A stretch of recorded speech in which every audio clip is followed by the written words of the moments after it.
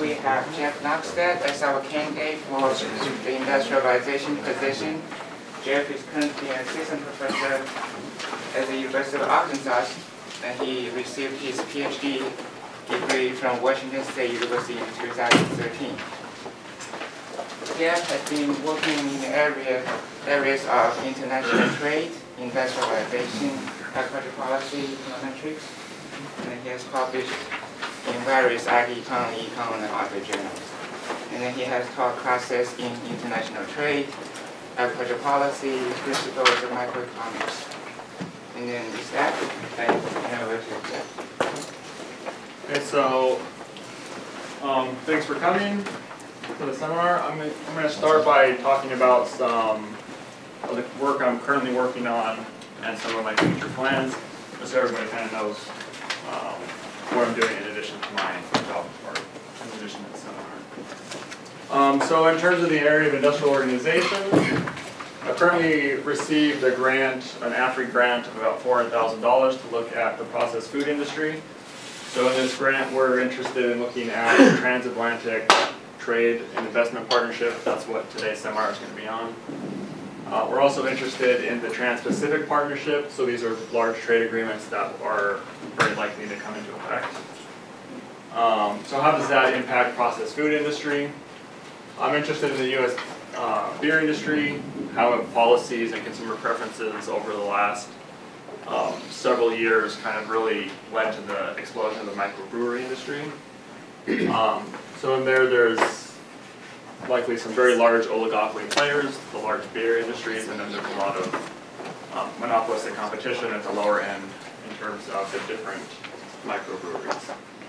Um, I'm also interested in seeing how some of these large trade agreements are going to impact multinational firms. Are we going to see an increase in multinational firms, increase in their volume? Um, so that's one thing I'm interested in looking at. I've also been working on analyzing the recent farm bill and specifically to crop insurance. Um, so with the new farm bill, there's been fairly substantial changes in um, farm policy, and they've been kind of moving towards mitigating risk through different crop insurance options. So the first study that I worked on was um, in the wheat industry, and we specifically looked at, we used Mitchell County as kind of our, um, in Kansas as our kind of representative county that we study.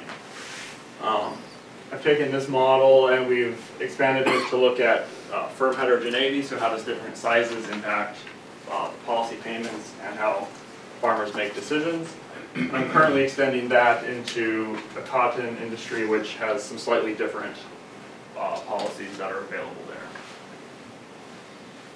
Another area I've been working on is uh, immigration, and I have another AFRI grant to work on that.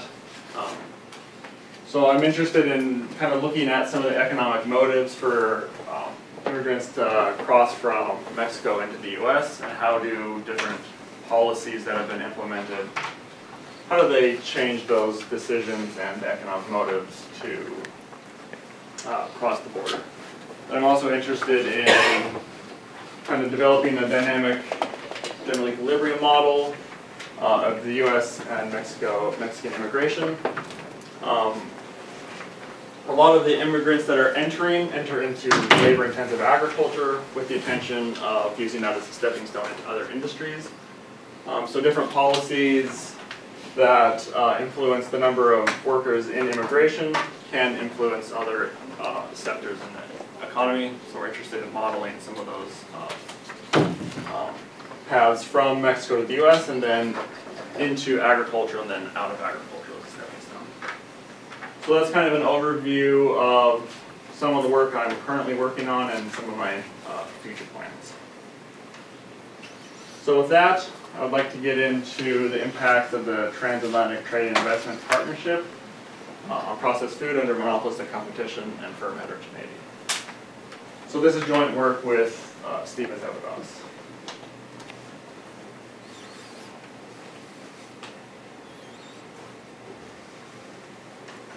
Okay, so I'm going to, just a brief outline, I'll introduce, of introduce the paper in question, we'll look at the model, uh, talk about some simulation and results, and then conclude the paper. So I've, I believe there's a handout that's been passed around that has uh, the model summarized in it, so that may, that may help as we go through that section.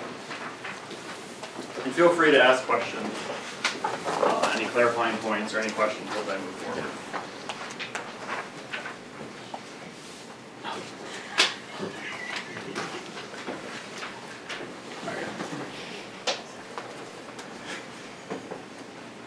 So the processed food industry is an important part of the agricultural food supply chain. It's one of the parts of the supply chain that's actually seen a fairly substantial increase in exports over the last 20 years. We see about 178% increase between 1998 and 2012. Um, the processed food industry is also has some interesting uh, features that aren't in other primary agricultural uh, sectors. Um, so these firms are going to be engaging in mon- monopolistic competition, and they produce highly differentiated firms. So in this paper, when we're talking about the processed food industry, we're talking about the entire food industry. So we're looking at, so we're including things like uh, microbreweries and beer. We're including uh, processed meats and cheeses, and you know, different cereals. Um, so firms differ quite a bit in size. We have very small breweries that serve just a one region or area, and we have large firms like Kraft. So we have a, a very wide variety of different firm sizes and a very wide variety of products that are produced. So there are many firms that operate only domestically and then some that decide to export. So we're going to be able to see how different trade policies implement or impact this decision to operate domestically or to export. Um, and then the US and EU are actively negotiating a large trade agreement, and this could potentially reduce trade barriers such as tariffs and non-tariff barriers.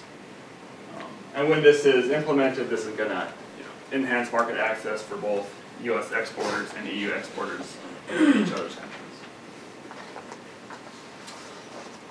So when we talk about world trade in the processed food industry, the US and the EU are um, by far the largest players in this market. They account for almost a third of total global trade. We have EU exports, uh, the most of any region or country, and their val the value of their exports around 97 billion, whereas U.S. exports are around 51 billion. Now, in terms of imports, uh, the U.S. and EU are much closer. We see that the EU is importing about 67 billion, whereas the U.S. is importing 61 billion. So these are you know, very substantial amount of trade that's going on here. And on top of that, the U.S. and EU are the largest bilateral trading partners. Um, so this is largely due to similar tastes and preferences and you know, traditional trade links. Um, the U.S. and EU have kind of always been major trading partners.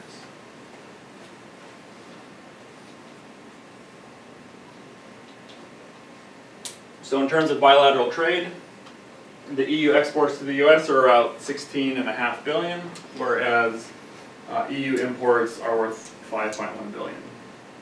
So the EU is exporting more to the US than the US is exporting to the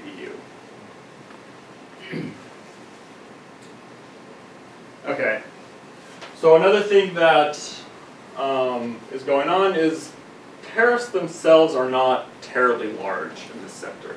We see a trade-weighted average of about 14% uh, for products entering the EU, whereas the US is about 3.3%. But what is substantial in this industry and in a lot of agriculture is non-tariff barriers. Uh, and this is different from many other manufacturing sectors. So the food processing industry has sanitary phytosanitary standards that have to be met. Um, and one thing that's happened over the years as trade barriers have been lowered, the non-tariff barriers have been implemented to kind of act as trade barriers. So the current estimates right now are that the EU imposes about a 56 or 57% additional cost on processed foods entering the country, whereas the US has about a 73% additional cost. Um, so the question is, are these non-tariff barriers in place to protect consumers, or they to protect the producers? If they're there to protect the producers, then that's, um, just a trade barrier that probably needs to be eliminated. So one thing that the Transatlantic Trade Investment Partnership is going to do is gonna eliminate those tariffs. And reasonably, they could reduce the non-tariff barriers by about fifty percent. Reducing them by much more than fifty percent is not very realistic. Um, but if we align some of our measures, we could reduce these costs by about half. Yes? How, how did you calculate those value equivalents of the NTBs? These have already been calculated. I have citations and a couple slides on where we got these numbers from. So they use a gravity model to calculate that, or estimate it. So the ad valorem equivalents are about 57 and 73%. So we can see some substantial gains that could be, uh, gotten by the implementation, implementation of TTIP and reducing those trade barriers. Okay, so the develop, or the objective of this study is to develop a multi-region trade model that accounts for some of these features in this industry, specifically the monopolistic competition, uh, the differences in firm sizes, and how they make their operating decisions. Do they operate domestically or do they export? So we'll calibrate the model to the EU and US food sectors, and then simulate the effects of the transatlantic trade investment partnership. Uh, So we're interested in how does TTIP impact prices, consumption, the number of firms, productivity, and welfare. Now, the modeling that we use allows us to look at how this impacts firms that are operating, and we can even look at some productivity measures. So without the monopolistic competition trade model with heterogeneous firms, those are two things that, these are two things that we actually can't look at. Can't get any idea on how TTIP will impact. So that's one thing this modeling brings in that we can try and get a sense for how this is gonna affect. So a lot of what the studies have done in terms of the processed food industry and TTIP is they'll look at one specific segment of the processed food industry. So they'll look at like processed meats, for example. Or they'll look at the dairy industry and see how TTIP might impact the dairy industry. Um, so this is, we're trying to look, uh, get a bigger or a broader picture. And we're also trying to account for some of the market structure that goes on. A lot of studies, previous studies have not accounted for these uh, different and important um, market structure, market structures that exist. Okay, so the model setup, we're gonna have a three-region model. We're gonna have US, EU, and the rest of the world. Uh, and we're going to allow for differences in preferences across countries, differences in technology across countries, differences in sizes, and then we're gonna add trade policies. Um, so when we start adding for these differences across countries and technology and region sizes, the model is actually not able to be solved analytically. Um, but there's been some papers that have made some simplifying assumptions and gotten comparative statics results. So those already exist in the literature. And when you complicate the model by allowing for these differences, there's no longer an analytic solution. So we're gonna solve it numerically. Okay, so I'm gonna start by discussing uh, the consumer side of the problem, and then we'll look at producer side. We'll then look, talk about uh, equilibrium. Um, and the equilibrium will close the model, we'll be able to solve that, but we're also interested in some additional statistics and aggregates, so we'll then define some aggregates after we define the. Okay, so for this paper, we're gonna assume Dixit-Stiglitz preferences.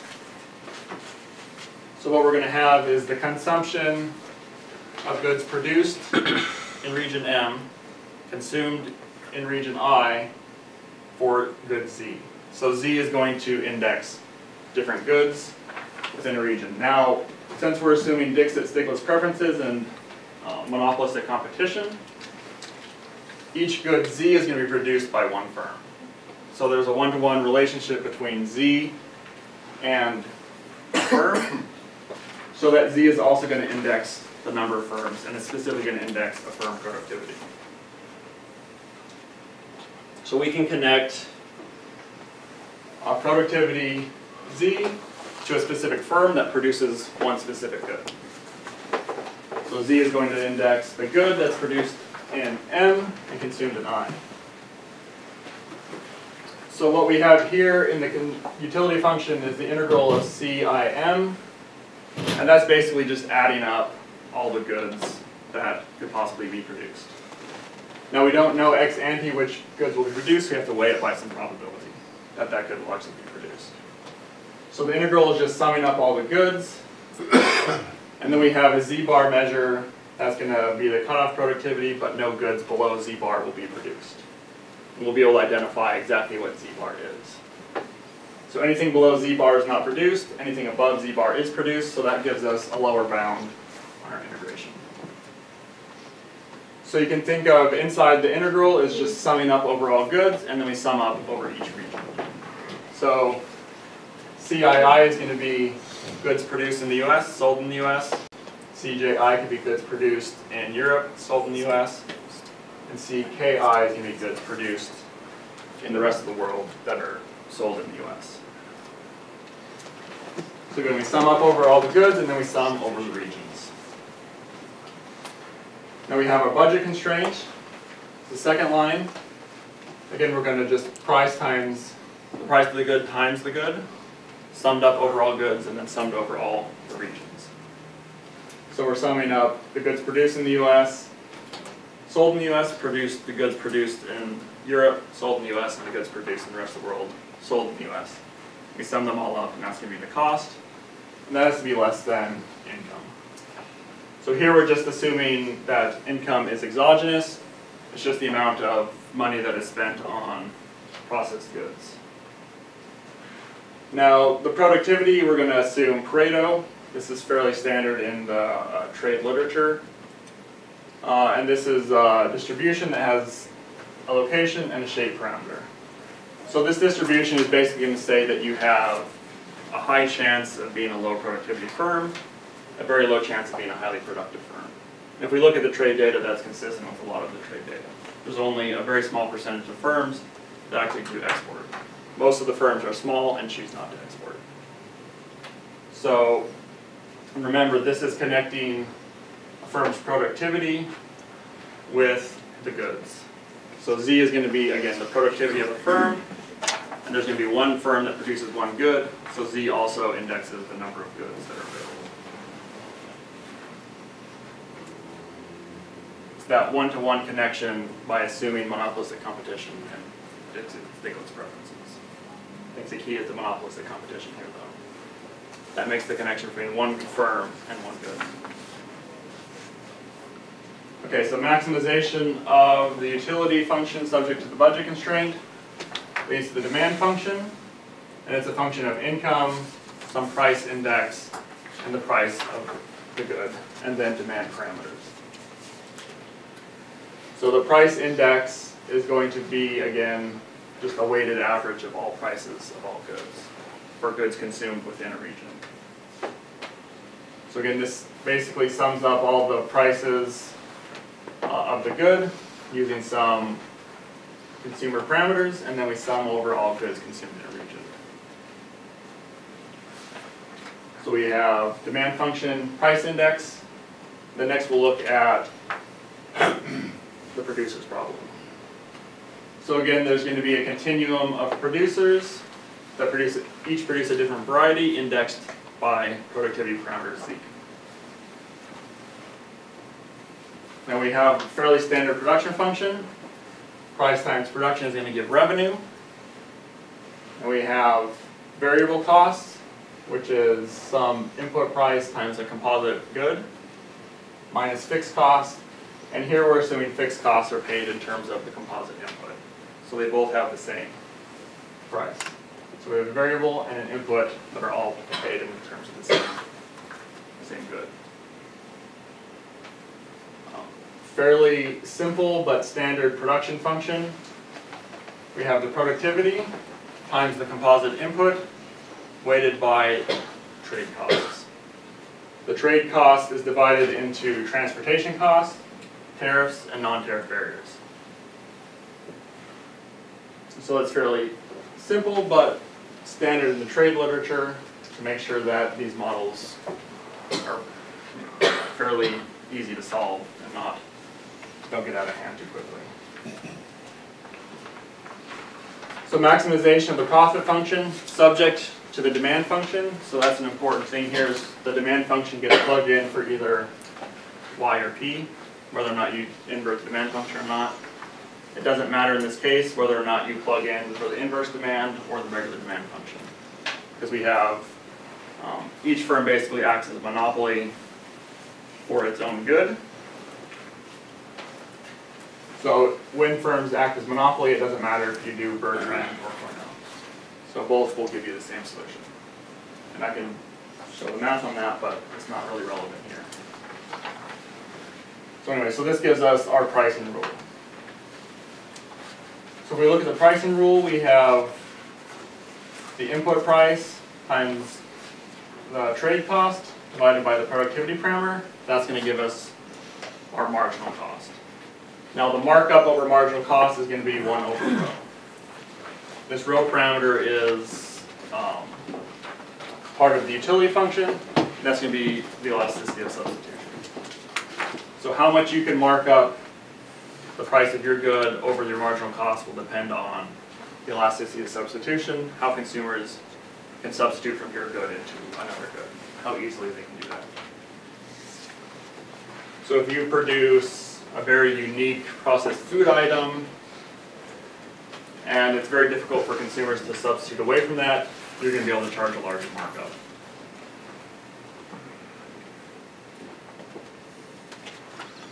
Okay, so that's the consumer and producer side of the problem. Next, we have to look at how firms decide whether or not they're going to operate.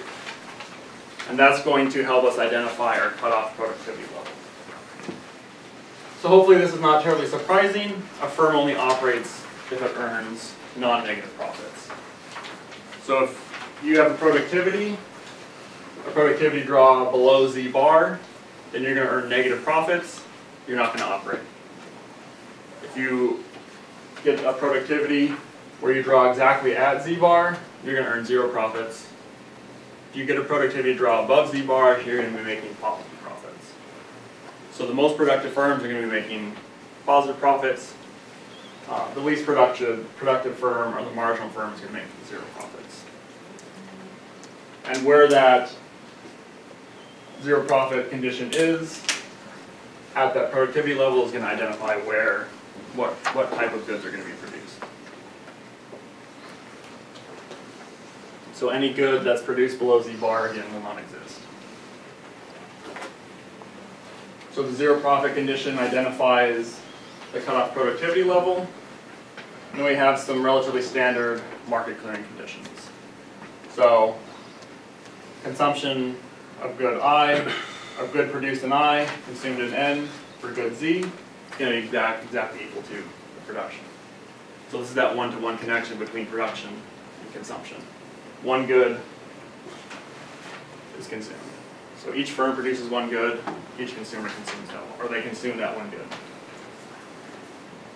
We also have an input clearing for the input market.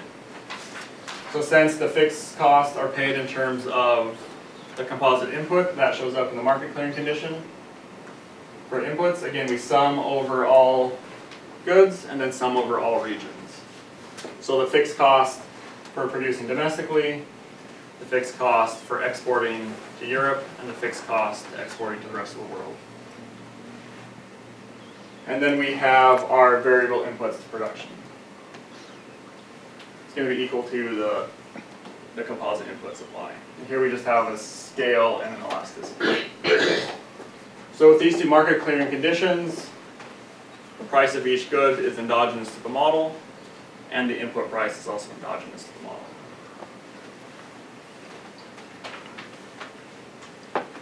So this is enough for us to solve the model numerically. We can put all of these equations on the computer with a little bit of reducing and actually solve the model. But we're interested in actually looking at some statistics that we can use to evaluate how the economy is performing, so that's what we're gonna look at next. So are there any questions on the model part and the closure before we go Uh, So first, when you talk about monopolistic competition, on the, the rule for the firm, you have a, you have a condition, right? Mhm. So I just couldn't see what's the difference between that condition with, because in general, if it's a monopoly, then there's a, there's a condition in terms of price and markup, Right. But this one is monopolistic competition, so Right. which condition do we have to guarantee it is a monopolistic competition rather than a general monopoly? So this pricing rule, Right? if we were just looking at monopoly, Z wouldn't be there. It would just be one large firm that's Mhm. producing everything. Mm-hmm. So if you are a less productive firm, you're not gonna be able to charge as high of a price for a different good. So that's one thing that comes into play. It has to do with the demand function. So if you're uh, efficient enough, so you will be able to produce and- and Yeah. supply. But then, So there's, basically there's an infinite number of firms in this model right, that are each a monopoly in their own good. so in the long run, the profit for each firm should be It is not zero in this case. Why? So the only firm that is earning zero profits is the least productive firm. Uh-huh, And then every firm above that can actually earn positive profits. right. But if the standard definition for the monopolistic competition is kind of like, each firm is kind of unique, has the power over the product, But in the long run, and then all the firm will see, yes, no, it's not positive profit, other firm will keep coming, keep coming until Right, the, the so, is actually zero. so that has an implication on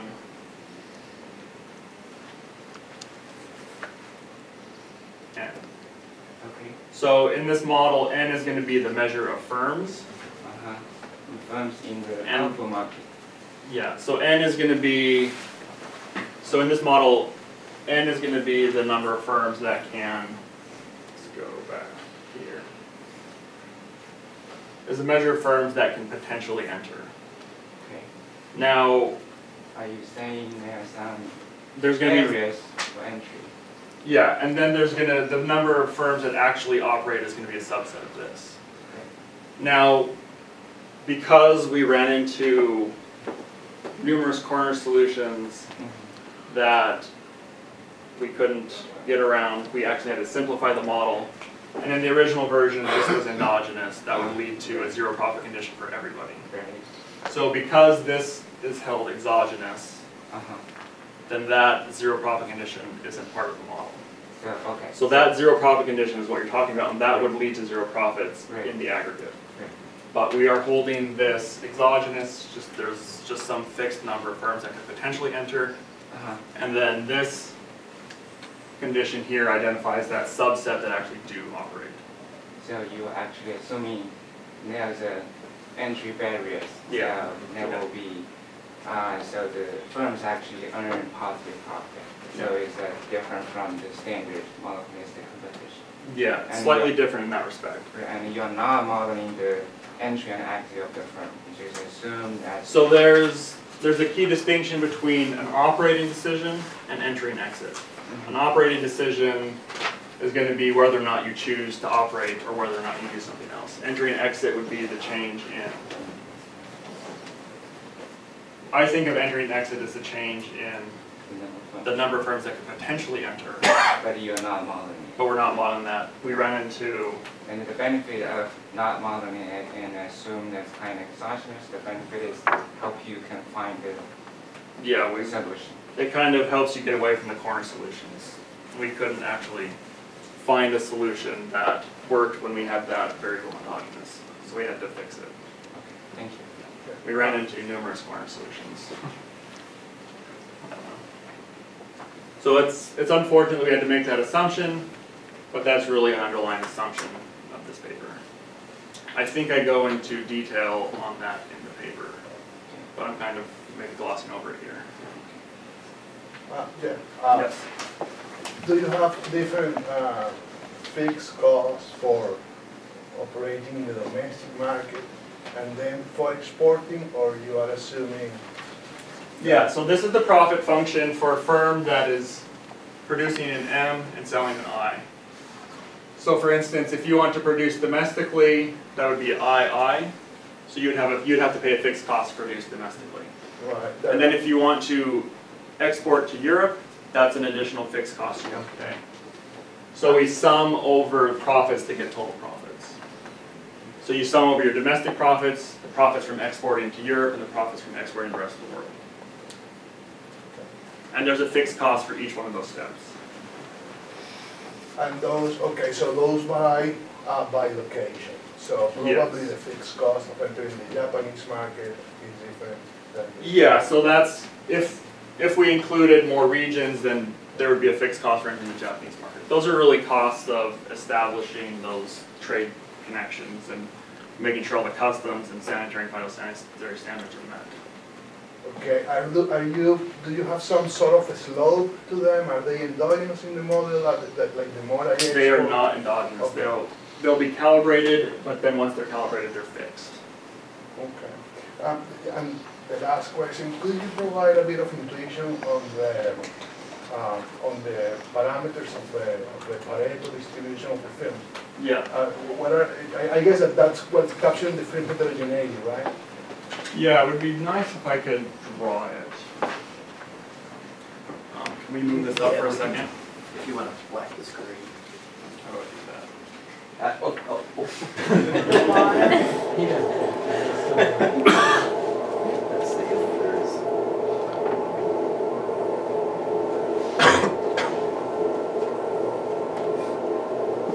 I can probably just draw in this corner.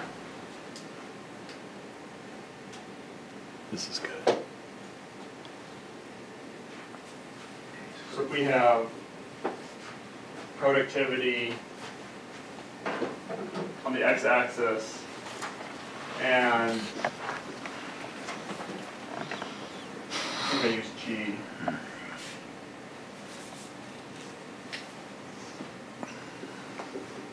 G of Z on the vertical axis, so this is the probability density, and this is the productivity parameter.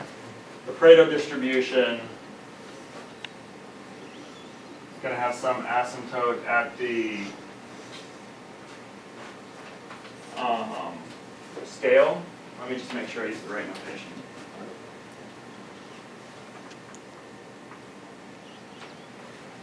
So the location is gonna be mu, so it's gonna have an asymptote at mu. Each region has its own mu. Let me get back so we can actually see it. And it's gonna look, it's gonna look something like that. So it has an asymptote at mu and then the x-axis. So you have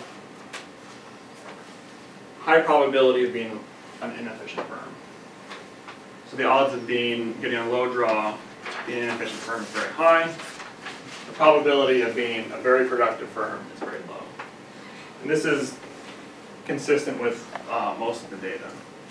The data says, you know, there's a huge mass of firms that are small, that operate only domestically, and then there's a small mass of firms that export into the region. So you have to be the most productive, the most efficient firm for exporting to be profitable. And the odds of you being that productive firm is very low.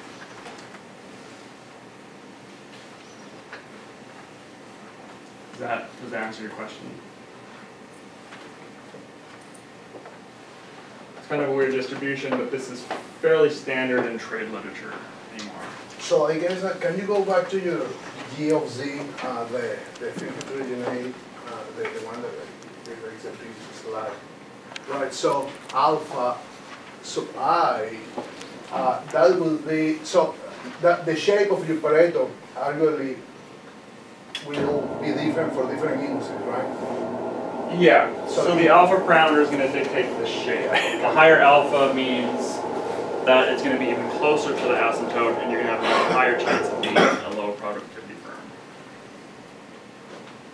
firm. So if this parameter dictates the shape, yeah. higher alpha means the mass is even closer to that asymptote. There's more mass at that asymptote. So you're more likely to be a less productive productive firm than a more productive firm.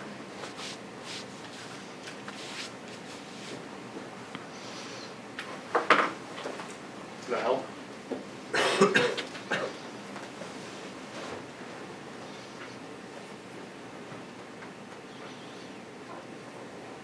Okay, so this gives us model closure. So in terms of a real income index, uh, nice thing about Dixit-Stiglitz is that gives us, the utility function just gives us real income. So we can use that as a welfare measure directly.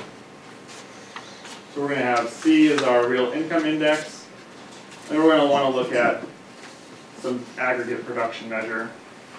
So again, we sum over each good, and we sum over goods sold in each region. That just gives us total production. And in a minute, I'm gonna redefine this uh, in a different way to look at our productivity measure, but it's, I'm gonna be looking at the YIM to get the productivity measure. So we, again, we have a composite input used, this is sum over all goods that are actually in production. And then sum over the regions, but here we're just looking at the LIM instead of the LI. So I need this to look at my, to get my productivity index. And then this kind of comes back to your, your point. Um, so this is how we actually identify the measure firms that actually do operate. So the CDF uh, evaluated at Z bar is gonna give us the percentage of firms that don't operate. So one minus that gives us the percentage of firms that do operate. So we can look at the subset of firms that can potentially enter, uh, enter as the ones that actually are operating. Now there's, uh, again, if we didn't run into those corner solution problems, we could have also made this endogenous, and that would have been an aggregate zero profit condition. So on average, all firms make zero profits.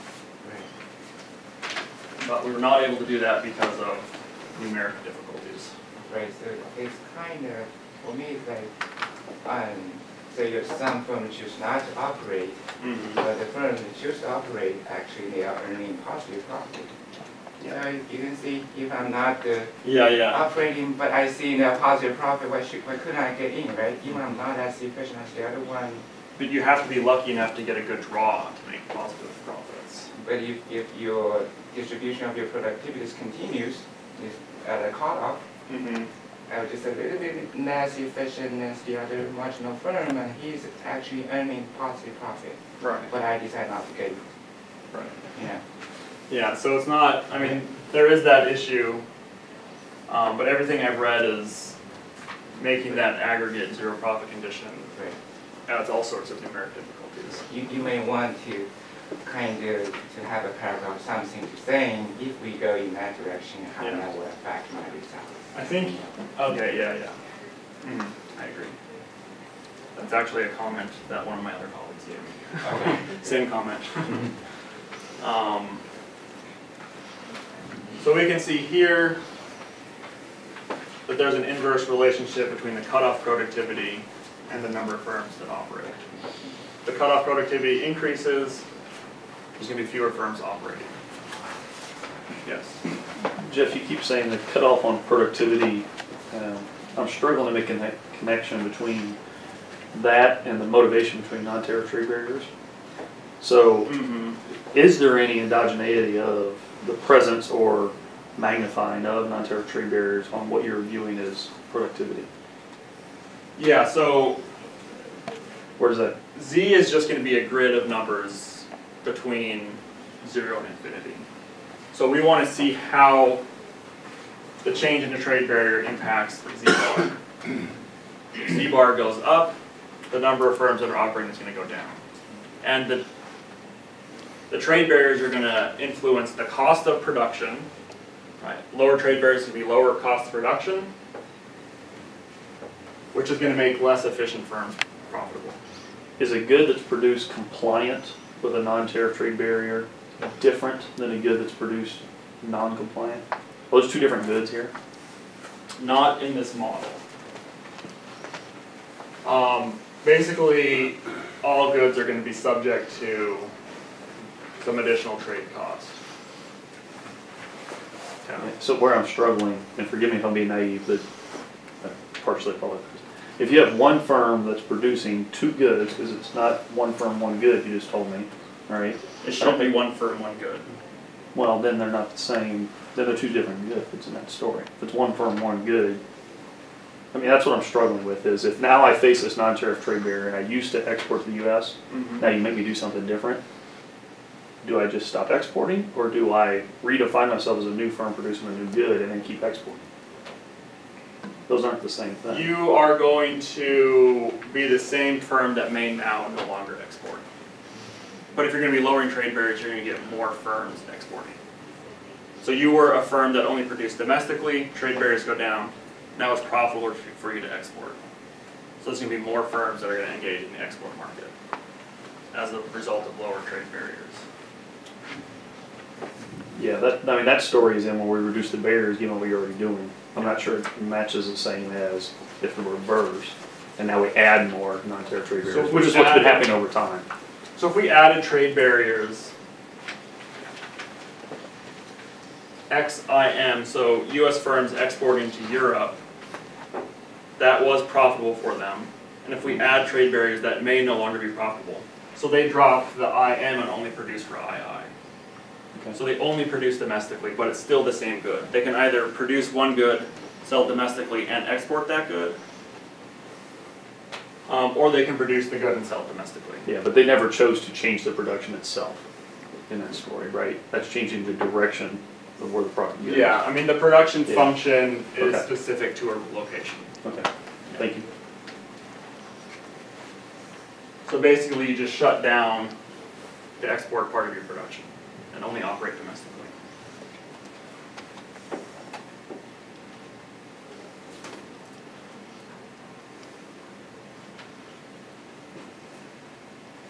Okay, so we've, we have some type of aggregate measure for production and input, variable input use. And we've looked at the measure of operating firms. So how do we get to a productivity index? Um, so we can redefine production IM in this form, just takes a little bit of algebra. Uh, not too bad.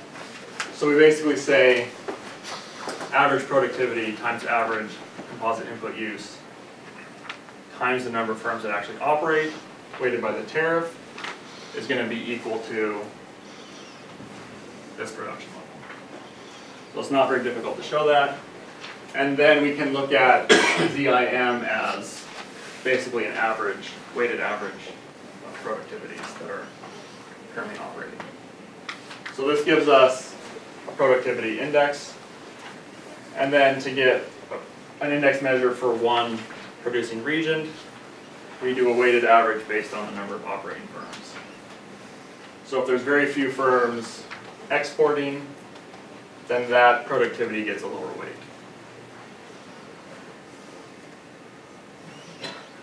Just do a, basically just a weighted average. So this is base, I mean, you can just think of this as average productivity and then a weighted average for each firm that's either, or for production that's being sold domestically and exported.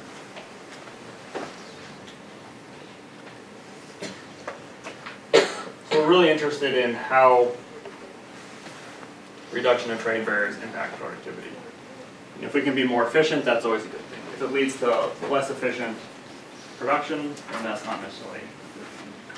And we can look at that in concurrence with total production and consumer utility. Yeah, if I think I got lost here. Yeah. Uh, Why are you indexing Z by N to, uh, on the, on the aggregate, yeah, the weighted average down?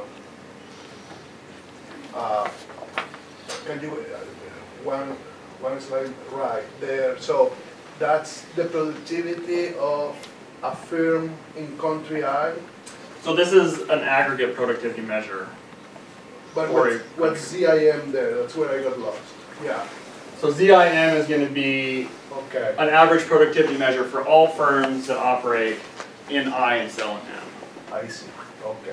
So this is gonna be basically average production for domestic firms, if it's II. And then we have another average productivity for exporting firms, IM. Okay, And then we're gonna take a weighted average of those.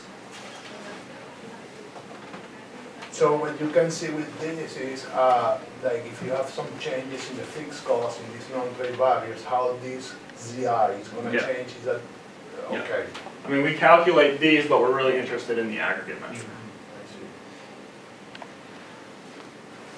Because most likely, there's gonna be positive and negatives here, depending on if you're a domestic firm or an export firm. But what happens in the aggregate?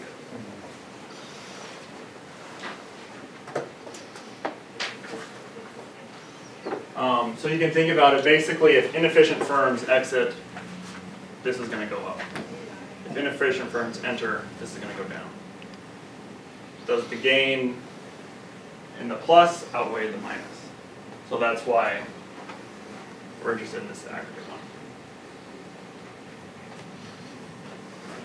one. Okay, so we can reduce the equations into three equations that we look at in equilibrium. So we'll look at the zero profit, labor clearing, and price index. We can reduce all the other equations down, specifically the demand function, profit equation, production technology, pricing rule, the market, output market clearing. So we can condense all these things into these three equations, and this gives us a system of fifteen equations, and fifteen endogenous variables. So Z bar IM is gonna be nine, three for the US, producing domestically, exporting to Europe, and exporting to the rest of the world, three for Europe, and then three for the rest of the world. There's gonna be three intermediate input prices and three aggregate price indices.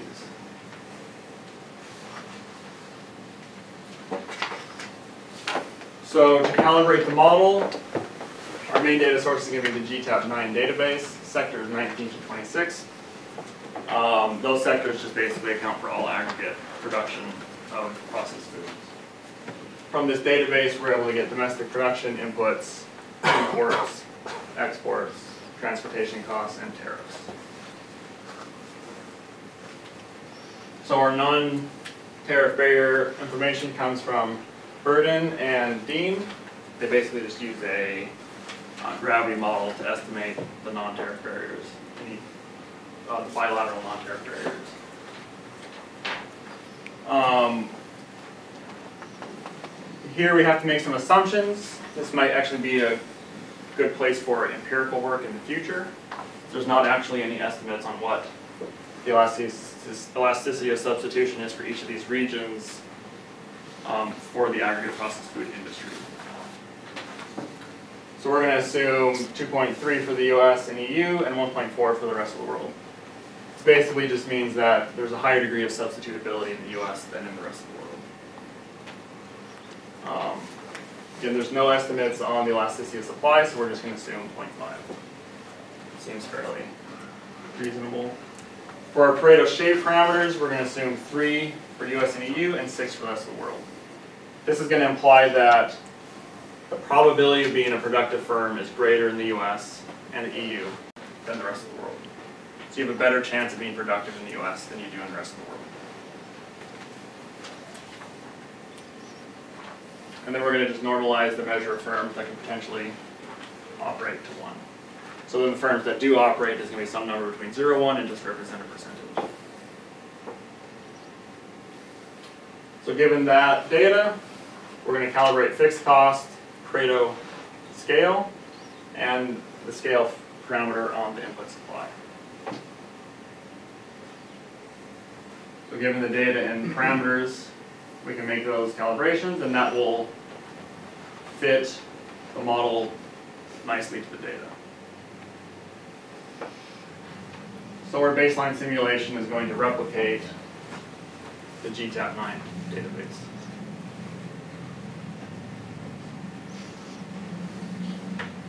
So in the paper, we consider three alternate scenarios. The first one is the complete TTIP scenario, where we eliminate tariffs and reduce NTB barriers. And then we break out uh, tariffs and NTBs separately. Uh, For the sake of presentation, I'm just gonna eliminate, or I'm just gonna discuss the most important and most interesting case. It's the complete implementation of TTIP. These are discussed in detail in the paper, and if um, you wanna know more about it, we can discuss that with seminar as well.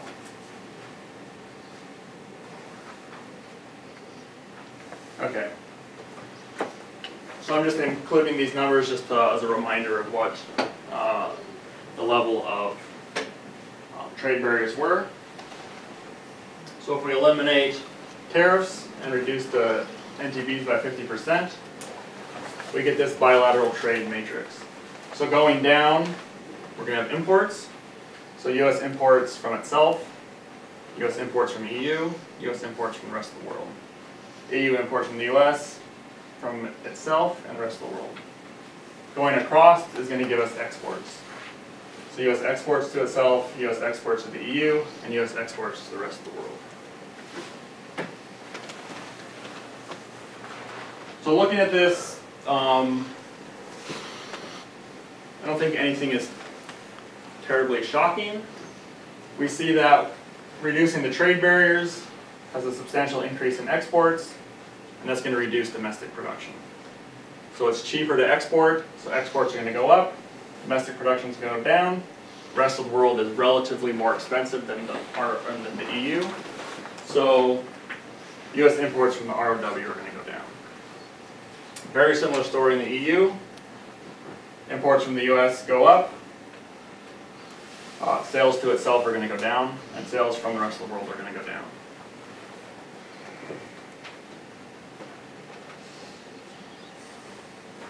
Now, these numbers are larger than what I've seen in other papers. So the first thing to keep in mind is, this is the first paper I've seen that looks at the aggregate processed food industry, and the first paper to account for the market structure. Yeah. So that's gonna have an important effect on the magnitude of the results. And these aren't the same because the EU has different income um, and slightly different production parameters. So it's not just gonna be a one-to-one um, increase US exports, increase the EU exports, so they're not quite exactly the same. Now in the rest of the world, the US finds it more profitable to export to the EU, so exports to the rest of the world go down. The EU finds it more profitable to export to the rest of the world, to the US, so exports to the rest of the world go down. And since the rest of the world exports are decreasing, that's gonna increase domestic production a little bit. So they're gonna stop exporting to the US and EU, and it's gonna try and sell some of that in the US, or, sorry, in the rest of the world market.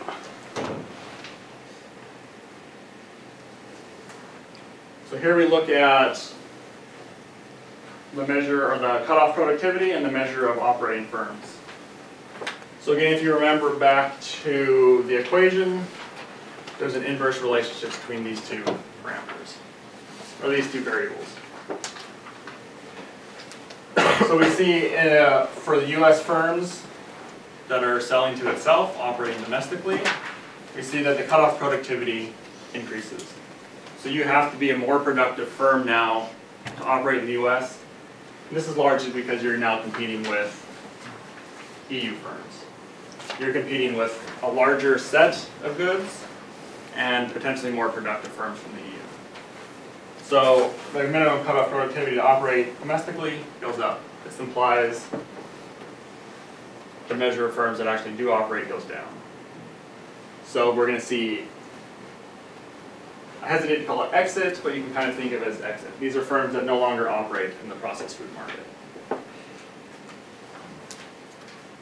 Um, we see that for US firms exporting to the EU, the cutoff productivity goes down. This implies the number of firms that are operating is gonna go up. So trade barriers go down, trade costs go down. It's now more profitable to export to the EU. So the minimum productivity required to actually export to the EU goes down, and the number of firms that actually do export goes up. And then because it's relatively more expensive to export to the rest of the world, than to the EU, we're gonna see an increase in the cutoff productivity for firms exporting to the rest of the world.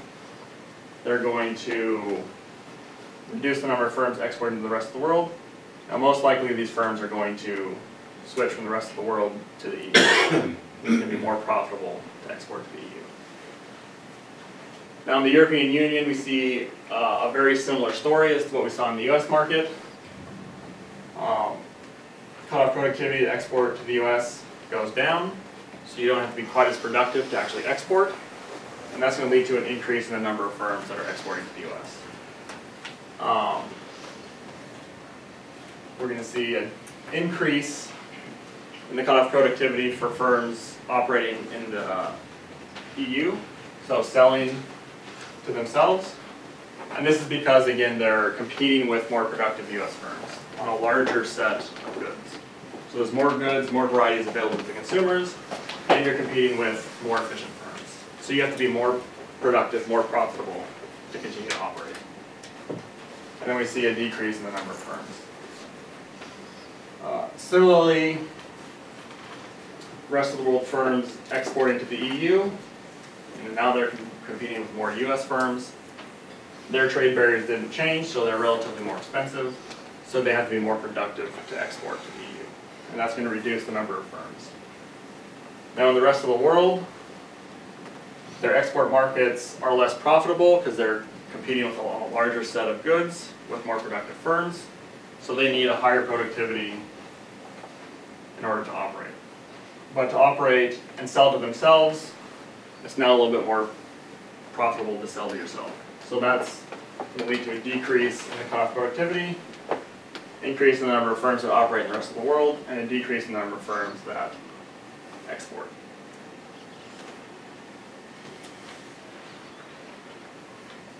Sorry, that's a decrease in the number of US firms that export to the rest of the world, because they're transitioning to EU exports.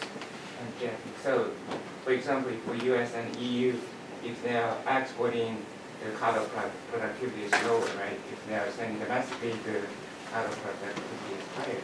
Yeah. What about in general? General, together, if a firm decide to upgrade, decide to either produce for domestically or export, So in this model, if you export, we're also assuming you produce domestically. okay. So you don't just export, you're gonna sell domestically and export. Mhm. So you can think of this as, this increasing is gonna get rid of the least, the most inefficient firms in the market. These are gonna be, anything below Z bar is, at or below Z bar is gonna be the most inefficient firms. So they don't, uh, export. Once you hit a certain threshold, now you're productive enough to start exporting. So, and then we can say overall, if we have a trade agreement, actually we have fewer firms in both US and European Union to, in this market. Yeah, that's actually something that might be worth looking into a little bit more. So this is just based on bilateral, but what about total? That's actually a good question, I don't have.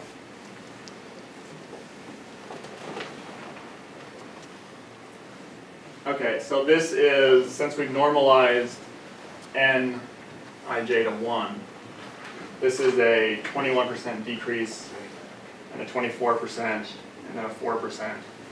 So it's most likely we're gonna have a net decrease in the number of firms. But that might be something to actually have calculated ready to go. So I think in the US, we're gonna get a net decline. In the EU, that may be the opposite. The rest of the world, that may be the opposite.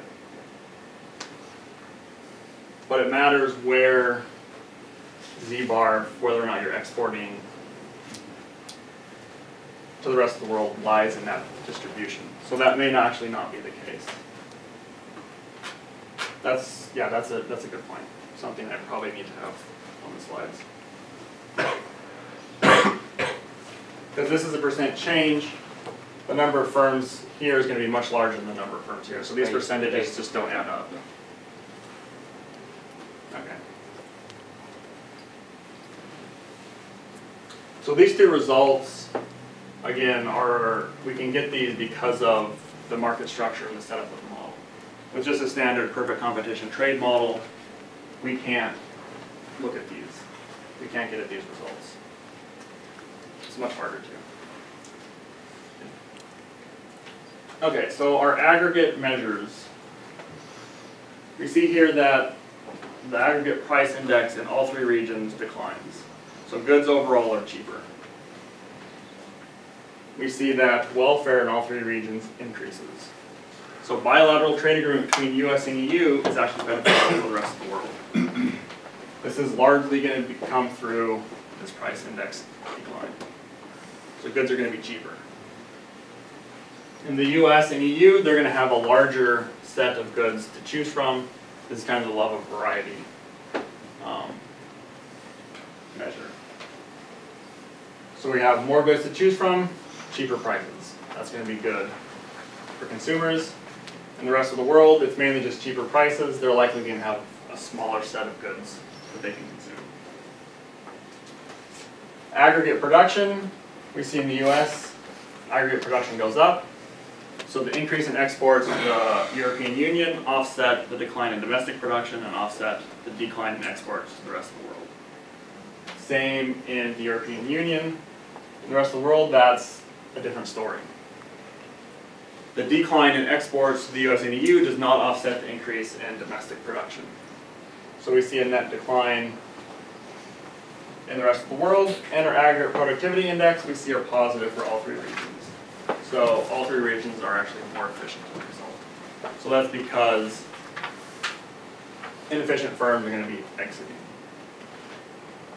When inefficient firms exit, the overall productivity of the in- industry increases.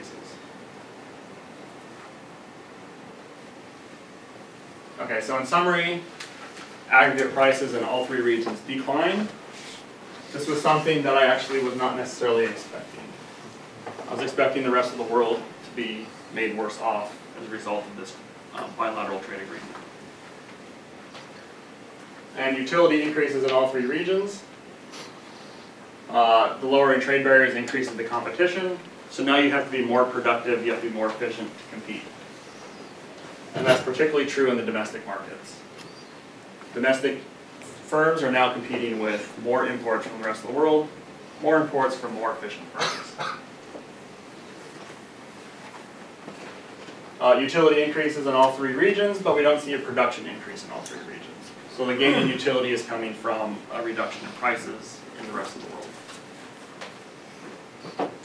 And then, probably terribly not surprising, bilateral trade flows between US and EU go up. So that's the end of the seminar. Um, I'll be happy to take questions on current and future research or anything related to the seminar here. Yes? Can you um expand a little bit more on why you think the utility increased in the rest of the world? Like, um, they were better off then from exporting less to these two countries? So the utility is not gonna be thinking about the exporters. We're thinking about consumers only. Um, the exporters are definitely made worse off. Right, they lose, they're losing sales. mhm, But the, in absolute numbers, these are fairly small compared to this. So definitely the domestic, or the producers in the rest of the world are made worse off. But we're gonna see downward pressure on the price index. So the price of goods in the rest of the world are gonna go down. And that's gonna be the main driver of why utility is gonna increase. so were they being up because of the tariffs? From the other countries where they were exporting to, and since they're not, We're, what do you mean by bringing like, up? um, the prices? Cause they're importing less and they're exporting less, right, because of this trade, reduction in trade Yes. barrier? I think she's asking why the prices are lower in the rest of the world. So if aggregate production increases overall, that's gonna put downward pressure on the market. Mhm. And I think that's gonna be really what's driving this decline in the prices. Yeah. Have you thought about doing kind of a, a complete uh, welfare decomposition? I think that that's what I, it's, so, uh, I guess that we have some terms of trade effects there, the prices are changing because Right. of the liberalization.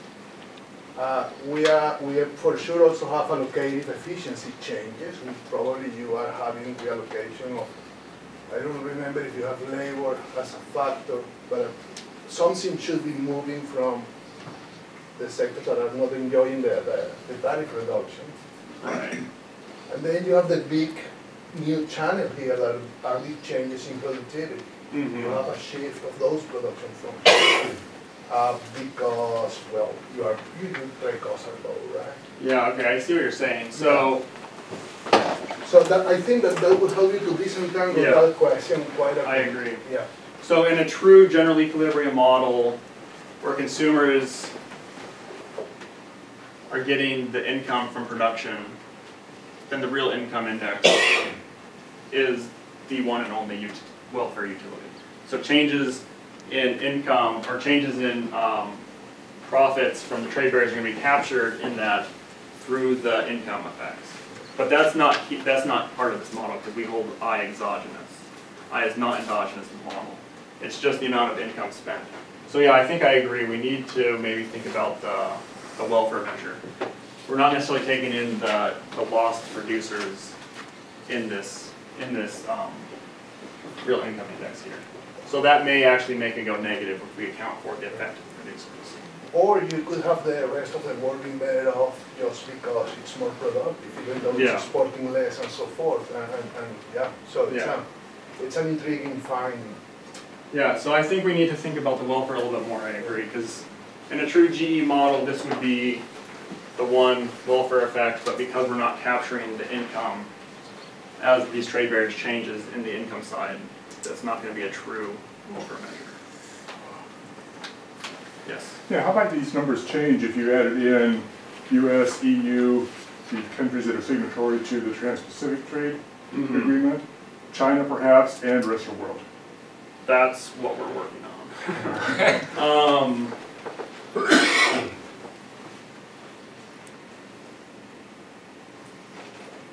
So if we look at TTIP and TPP together, is that what you're asking? Right, yeah.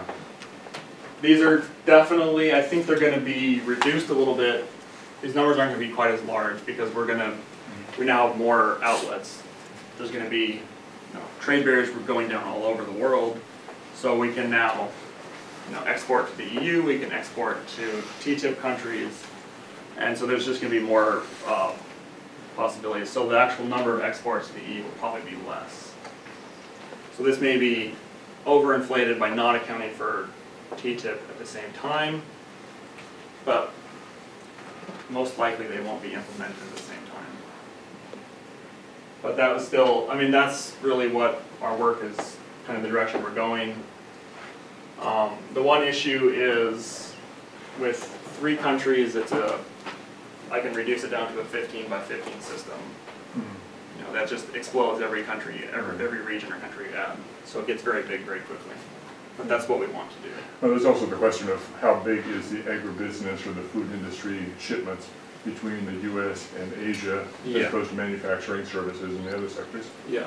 So those are all things we'll look at and get the numbers on. But I think it, I, when we wrote the grant to do the processed food industry, the Asian market was actually growing considerably faster than the EU market. So that's an, gonna be an important sector, or part, important part of this sector in the, in the near future. So as the middle class in Asia rises, I mean, that's where all gains in um, demand are gonna be. Yes. Um, I was wondering, what was the justifications for using the elasticity terms that you used and the shape parameters? Yeah, so that's a good question. And was it sensitive to, results sensitive to those decisions? So we, we're basically just making assumptions here on what we think is reasonable. There's not any good estimates on what these are in the literature. Um, I think this is maybe a good avenue for some empirical research to be done, so we can actually maybe tie some of these down a little bit better. Okay. Now, in terms of sensitivity, I mean, yeah, if we increase and decrease these parameters. I mean, it does impact results, but I don't think it impacts a great deal. Um, I mean, I tried several different ones, and we think that these kind of are the set that makes the most sense. Um, but sensitivity analysis could be an important part of the paper, but as you can see, we have quite a few parameters, so I could write a book on sensitivity analysis of this model. Yep. Yep, so, um, another question, it, that, um, you know, we have struggled with in, in, a- in a similar context is the choice of uh, products, right? Like, Mm-hmm. um, so you're assuming here monopolistic competition, but, Yeah. uh, say, meat, beef, Yeah. poultry, these are much closer to monopolies, where you have one Yeah. or two firms. So how will you, and these are like the key potential winners in particularly this Yeah. agreement. So how would you go about, uh, uh, you know, adapting that much more uh, uh, monopolistic market structure to a model like this? Yeah, so that's um, something we've talked about and extend, um, you know, further extensions. We want to not only look at the aggregate food processing sector, we also want to look at important segments of the processed food sector. So like the meat sector, the dairy sector. Um, and that would definitely require a different market structure. We'd have to think about the market structure in a different way. When we think about processed food as a whole, monopolistic competition seems to make sense. Um, but those definitely different, those subsectors are gonna be different. Like, I looked at, for my dissertation, we looked at the processed juice industry between US and Brazil and how, um, a reduction in trade barriers could impact those. We used oligopolistic competition in that context. So, um, and I think in a first paper, I actually estimated does oligopolistic competition even make sense? We found out yes, so then we did some more analysis on that. Um, So yeah, when you look at subsectors, you definitely have to think more about the market structure, and you can't just use the same model to do the same thing. Yeah, and you know, an idea for the sensitivity analysis. Um, so there is a clear relationship between sigma and alpha that is derived from, from the fact that I guess that alpha always have to be larger than sigma.